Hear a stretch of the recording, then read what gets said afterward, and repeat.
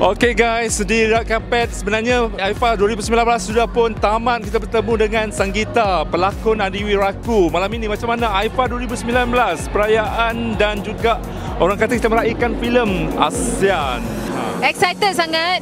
Uh, want to jaga menang. Yay! uh, okay. So AIFA ni kan I rasa macam uh, is a celebration of diversity lah kan. Uh, and then this time I think uh, lebih kurang 10 uh, negara take part. So I so excited I dah jumpa uh, pembikin filem daripada Indonesia, daripada Philippines.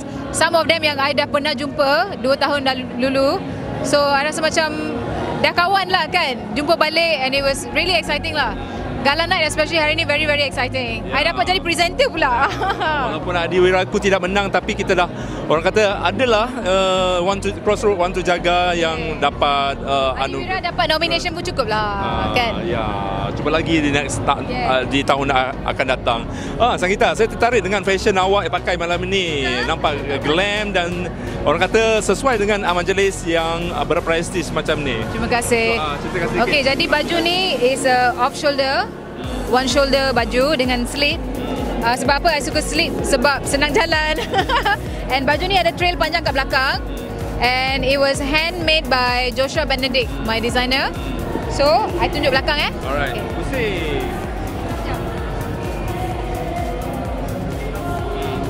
Ah, nampak hijau. tak? Hijau tua. Yes. Hijau tua. Hijau tua campur biru. Tapi Sanggita tetap muda. Okey, Sanggita, perkembangan terkini awak apa yang dibuat setakat ini? Okey, Pak. Masa sekarang ni uh, kita orang tengah pre-production untuk Adiwira 2. Oh, Adiwira 2. Yes, dah. tapi Adiwira 2 bukan sequel Adiwira. Right? Yes, Gemencir Boys. Uh, I tak berlakon. Cuma I nak belajar pemikiran filem lah kali ni. Uh, satu lagi, I ada dapat offer untuk buat filem dari Sri Lanka. So kita tengoklah macam mana. Maksudnya uh, untuk Adiwiraku Gemencil tu awak di belakang tabir atau macam mana? Belakang tabir. Belakang tabir. Yes. Apa bikin teh? Alah, janganlah di downgrade. Sanggita tak best tau. Kita nak juga Sanggita dalam tu. Oh, no. okay, mungkin ada guest appearance lah. Kita tanya director dulu. okay, akhir sekali ucapan untuk semualah peminat awak, pembikin filem apa semualah yang menjayakan AIFA tahun ini. Okey, terima kasih. Terima kasih sangat-sangat sebab kalau korang tak ada, kita orang tak ada.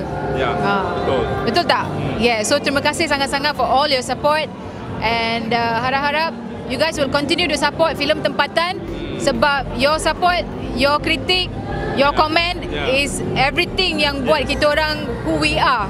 So yes. terima kasih. Ya betul. Cakap Sanggita sekarang zaman netizen kita terbuka semua untuk kritik apa saja termasuk lagu ke uh, editing ke sinematografi ke. Okey. Sekarang, sekarang I think uh, penonton dah pandai. Dah pandai dah. Ya, uh, digital era kan so semua dah pandai. Uh, tapi uh, ada yang uh, yang tak pandai tapi olok-olok jadi pandai ada juga kan. Ada ke? Biasalah netizen, netizen. Uh. Netizen bagai semua baik-baik. Bagus Sanggita, positif orangnya nampak nampaknya begitu sajalah dulu AIFA 2019 telah melabuhkan tirainya dan kita ada antara selebriti yang terakhir kita jumpa jap lagi kita nak uh, nak pergi mana kita baliklah guys jangan lupa untuk subscribe YouTube channel budi.com subscribe sekarang sebab mungkin kita akan berjumpa di AIFA 2021 ya Iya. Ha, tengok Sanggita pun nak datang. Harap-harap Malaysia menang. Ha, yeah. itulah dia.